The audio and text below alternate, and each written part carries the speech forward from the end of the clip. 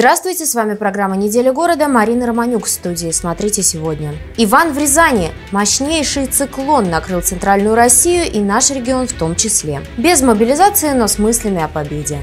Больше четырех часов президент России Владимир Путин отвечал на вопросы граждан страны. Терракотовая юность, старейший в Рязани легкоатлетический комплекс, отремонтируют к концу декабря. Циклон Ваня может принести в регион рекордное количество снега. Пятница, 15 декабря, на которую приходится пик снегопада, может стать самым снежным днем за 60 лет. Синоптики ожидают, что к субботе сугробы достигнут высоты 50 сантиметров. Норма для середины первого месяца зимы в 5 раз меньше. Осадки не прекращаются, что вызвало настоящий коллапс на дорогах и во дворах. Социальные сети пестрят видео от жителей города, которые выкапывают собственный транспорт, толкают застрявшие автомобили. К сожалению, не все управляющие компании справляются со сложной задачей, и не все автомобилисты с непогодой. ДТП на дорогах блокировали некоторые улицы, оценка пробок 10 баллов. В некоторых районах, например, на улице Советской Армии, движение блокировали буксующие фуры. Снегопад, по прогнозам синоптиков, продлится до вторника, однако уже не такой сильный. Губернатор Павел Малков проведет прямую линию с жителями региона. Об этом он сообщил в пятницу, подчеркнув важность прямого диалога с людьми. Прямой эфир пройдет в четверг 21 декабря в соцсетях ВКонтакте и Одноклассники. Начало в 18.00. Губернатор подведет итоги года и ответит на вопросы жителей области. Задавать их можно будет в режиме реального времени, а также оставлять под постом в комментариях в официальной группе Рязанской области. Очень важный формат работы. В этом году мы уже встречались э, в формате прямого общения. Через социальные сети обязательно будем и дальше продолжать э, взаимодействие в э, таком же формате. Четыре часа четыре минуты длилась ежегодная большая пресс-конференция Владимира Путина. За это время президент России ответил на 67 вопросов. Основные темы – проведения СВО, поддержка сельского хозяйства, да и в целом экономическая безопасность страны. Были, впрочем, и заявления новостной повестки. Укрепление суверенитета для России – жизненная необходимость. Это касается и вопросов безопасности и экономической самостоятельности. Ну, конечно, проведение специальной военной операции сегодня тема номер один. Главный вопрос, ответ на который жители хотели получить непосредственно от Владимира Путина – будет ли вторая волна мобилизации? Президент ответил, исходя из сегодняшнего дня. Мы э, начали достаточно широкую кампанию по, э, по привлечению людей на добровольной основе к заключению контрактов с вооруженными силами. На, и да, и планировали э, к концу года набрать, по-моему, 412, ну, 400 тысяч с небольшим.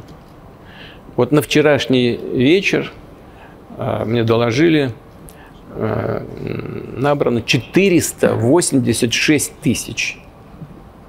И поток наших мужчин, которые готовы защищать интересы Родины с оружием в руках, не сокращается. Полторы тысячи ежедневно по всей стране.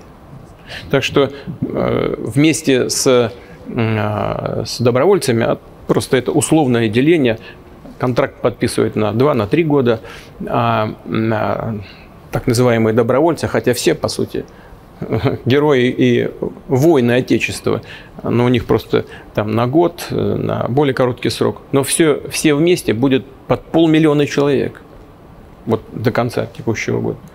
Ну зачем нам мобилизация?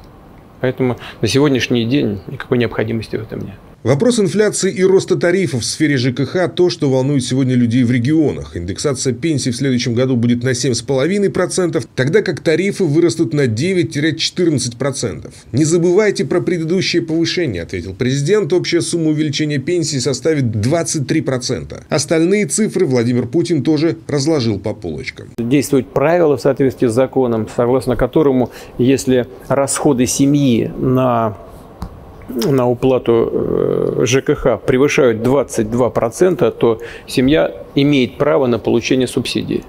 И э, сотни тысяч людей воспользовались этой возможностью в, прошлом году, в 2022. Ну и в этом на самом деле то же самое. В некоторых регионах этот порог еще меньше. Не 22%, а если э, семья тратит там 15, там, не знаю, 20% уже положена субсидия. Но но, повторяю еще раз, посмотрим, что конкретно, какое соотношение этих параметров э, в Новосибирской области. Это я обязательно, э, обязательно сделаю, обещаю. А, а вот разве это правильно, что за примитивную услугу а, оплаты услуг ЖКХ нужно еще платить комиссию банку? Много таких вопросов. Это неправильно, особенно если это касается пенсионеров. Э, и вот решение только что принято, комиссия уплачиваться пенсионерами не будет. Главный вопрос в сфере здравоохранения – кадровый. Впрочем, врачей не хватает сегодня по всей стране. Для молодых специалистов и так есть льготы и подъемные, тем не менее суммы увеличат. По поводу создания дополнительных стимулов. Если заработная плата конкурентоспособна, как вот доктор сказал, то вот что нужно, а, что шум брат Шумбрат – это по-мордовски, значит, здрасте. Да, я сейчас, сейчас отвечу, да. Вот, а, значит, э, что нужно сделать? Нужно, может быть, так же, как на Дальнем Востоке, тоже повысить, повысить первоначальные подъемные для земского доктора, для докторов до 2 миллионов рублей, а для фельдшеров до миллиона рублей – и это будет, мне кажется, хорошим стимулом. Я обязательно с правительством это проговорю. Бюджет принят, но тем не менее мы можем подумать и сформулировать эти решения на на самую ближайшую перспективу. На вопросы из Блица Владимир Путин ответил искренне. Возле себя он держит томик Лермонтова, хотя читать будет Уголовный кодекс. В сфере искусственного интеллекта стране нужно стать лидером, а главный совет подрастающему поколению – беречь честь с молоду. За ответами президента на вопросы жителей страны внимательно следил губернатор Павел Малков. Напомню, на заседании правительства он призвал руководителей всех ведомств и администраций муниципалитетов незамедлительно реагировать на обращения жителей региона во время прямой линии. После ее окончания глава региона прокомментировал заявление Владимира Путина. Экономическая и социальные сферы, геополитика и вопросы проведения специальной военной операции – в правительстве Рязанской области подчеркнули, что президент нашей страны погружен абсолютно во все темы. Глава государства ответил на десятки вопросов, многие из которых в том числе касаются и нашего региона. По словам губернатора Рязанской области Павла Малкова, это планируют включить в работу уже в ближайшее время. Особенно важным аспектом, о котором шла речь во время прямой линии, глава региона назвал поддержку здравоохранения. Мы видим за последние годы уже идет существенное изменение сферы здравоохранения. Открываются ФАПы, открываются новые крупные лечебные учреждения. Ведется ремонт и модернизация медицинских центров, которые работали раньше. Ну, буквально каждое звено, каждое направление сейчас не остается без внимания. Поставляется новая машина скорой медицинской помощи, новая техника, оборудование от самого тяжелого и важного до оборудования, которое используется в ежедневной работе э, десятками и сотнями бригад врачей. И результат подобной работы уже есть. Для сравнения, ожидаемая продолжительность жизни в регионе с 2021 года выросла на 5 пунктов, и сейчас она порядка 73 лет. Особое внимание уделяют в регионе и мерам поддержки участников специальной военной операции. По итогам пресс-конференции и прямой линии правительство Рязанской области планирует разработать новый законопроект проект по дополнительным выплатам за ранения всем категориям добровольцев. Сейчас уже есть конкретные решения и предложения по поддержке участников э, специальной военной операции. У нас в регионе в целом действует очень широкий комплекс мер. И мы уже здесь во время проведения э, прямой линии пресс-конференции решили, что распространим все те э, выплаты, которые есть у нас в регионе, в том числе и на участников э, частных военных компаний. По словам Павла Малкова, несмотря на проведение специальной военной операции, экономические показатели Рязанской области оптимистичны. Ожидаемые цифры по итогам года – рост ВРП примерно на 3%, индекс промышленности на 7%, сфера АПК – 1,5%. И регион в этом будет только прибавлять. Кристина Бочкарева, телекомпания «Город» концу этого года откроет свои двери обновленный легкоатлетический комплекс «Юность». Городские власти, напомню, в ноябре расторгли контракт с основным подрядчиком. Он не выдерживал сроки. И заключили договор с новым. На этот раз все обещают сделать аккуратно и в срок. Легкоатлетический манеж «Юность» – один из старейших спорткомплексов Рязани, ему уже за 60, но сегодня это база для школы Олимпийского резерва. В начале этого года здесь решились на полную замену покрытия. По предварительным расчетам все работы должны были завершить в марте. Но даже к концу лета подрядчик только разводил руками. Терпение городских властей лопнуло. В ноябре контракт расторгли. Пригласили новую компанию. И не просто со стороны, а самих разработчиков покрытия «Фулпур» подрядчик был выбран нами не просто так. Это завод-производитель а, резинового покрытия, которое частично было уложено в нашем манеже. А, и а, тем самым они готовы нести полную гарантию за это резиновое покрытие и, соответственно, предоставить сертификат соответствия международным требованиям для легкоатлетических покрытий. Срок исполнения по контракту 24 декабря, и мы смеем надеяться, что работы будут завершены качественно, полностью и в срок. Покрытие Pur современное, многослойное, с высокой устойчивостью к износу. Помимо легкоатлетических комплексов, его еще применяют для обустройства теннисных площадок. В юности основное покрытие будет синего цвета, сдадут его, что называется, под ключ. И, кстати, в шиповках бегать тоже будет можно. Покрытие монолитное, наливное, выполняется в несколько слоев. Сейчас выполняются работы по устройству нижних слоев рабочих. Э, далее будет э, наноситься декоративный верхний слой уже с э, цветовым решением. Цветовое решение будет синее и кирпичного, там, терракотового. Разделены по зонам, будет внутри зоны синие, а беговые дорожки и прямые беговые дорожки будут кирпичного цвета, терракотового. Э, значит, после чего будет нанесена технологическая разметка согласно правилам соревнования. Дальше все по стандарту. Полный круг 200 метров, старт, финиш, разметка по секторам. Рядом еще две беговых дорожки разминочных. 24 декабря срок окончания работ. Пару-тройку дней покрытие еще отстоится, а затем юность получит полноценную нагрузку. Легкоатлеты говорят, что по тренировкам уже соскучились. Статистика налоговых преступлений в Рязани пока на спад не идет. Очередные эпизоды в виде уголовных дел уже направлены в суд. Кто и зачем решился на обман, расскажем далее. Начнем с преступления прошлогоднего. Раскрывало уголовное дело первый отдел по расследованию особо важных дел Следственного управления Следственного комитета России по Рязанской области. А ситуация до банального проста. Гендиректор одного из предприятий, которое занималось грузоперевозками, решил, говоря официальным языком, сокрыть денежные средства своей организации. Дело в том, что за счет этих средств и должно было производиться взыскание по налогам и сборам. Следствием установлено, что с июля 2000 2022 года по сентябрь 2023 года руководители предприятия, достоверно зная о наличии задолженности по налогам, а также о применении налоговым органам мер принудительного взыскания недоимки, используя распорядительные письма о перечислении денежных средств в адрес ряда юридических лиц в счет имеющейся задолженности, перечислил более 5 миллионов рублей в качестве уплаты лизинговых платежей, сокрыв таким образом указанные денежные средства от уплаты налогов. Доказательств у следствия достаточно достаточно, так что уголовное дело с обвинительным заключением уже направлено в суд для рассмотрения по существу. Второе уголовное дело к налоговым преступлениям отношение имеет косвенное. Само преступление – служебный подлог, часть 2 статьи 292 Уголовного кодекса Российской Федерации, а совершил его налоговый инспектор, который решил схитрить, говорят следователи. Следствием установлено, что государственный налоговый инспектор, полагая, что проверяемая организация является транзитной и какой-либо деятельности не осуществляет, желая искусственно увеличить результативность своей служебной деятельности, составил протокол допроса директора организации, внеся в него заведомо ложные сведения о том, что тот является номинальным руководителем и учредителем организации. На основании указанного протокола в Единый государственный реестр юридических лиц были внесены сведения о недостоверности сведений о юридическом лице лице, что повлекло существенное нарушение прав общества, выраженное в репутационных потерях на рынке труда.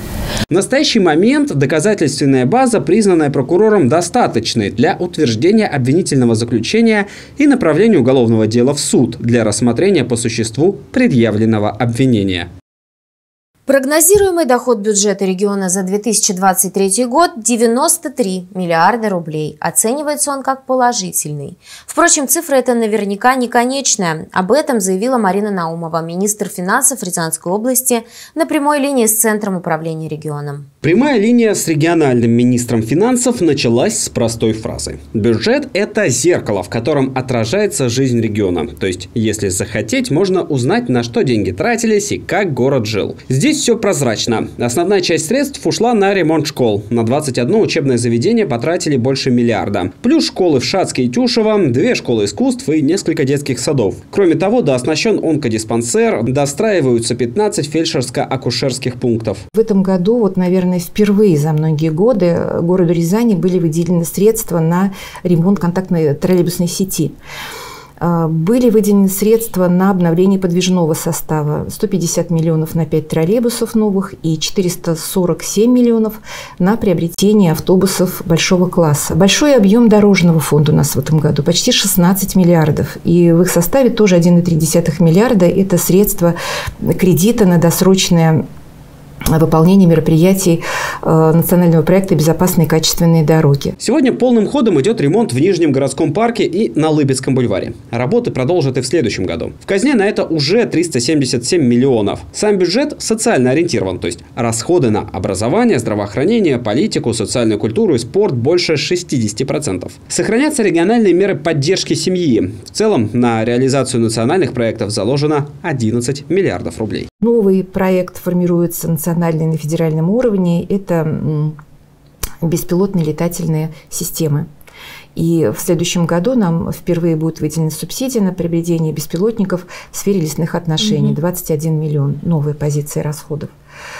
Эм, ну, кроме того, конечно, вот национальные проекты, прежде всего, они дают возможность нам строить социально значимые объекты. В следующем году будет закончено строительство школы в городе Касимове.